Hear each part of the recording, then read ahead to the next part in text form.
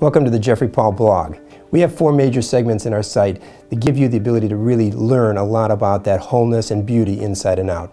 The first one is beauty tips. We're going to take you behind the scenes, where the professionals do things to hair that you most likely don't even see. We're going to teach you those techniques and how to do them yourself. We're going to share with you the techniques that make hair, skin, makeup more beautiful and more attractive to your need and desire. This segment will deal with everything from thinning hair on early stage hair loss and the state of the art of laser treatments and topicals and nutrition, as well as integration systems for women who have lost their hair but have not lost all of their hair, as well as the medical losses of women who've lost their hair for a temporary or long term because of medical causes.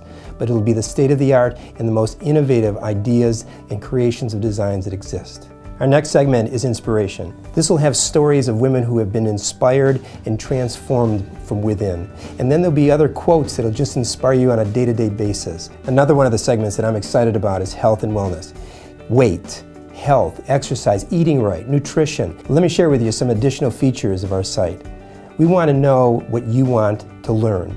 So we want to hear those comments ongoing and we're going to answer back with our expertise. But where we don't have the answers, we're going to go out and get the best in the fields to answer your questions and comments. The other features are that we're going to have video segments that are just incredible, guest artists and stylists that come in from all over the country to teach you techniques and methods, and we'll offer you many bonuses and discounts that not even our salon or stores have to offer.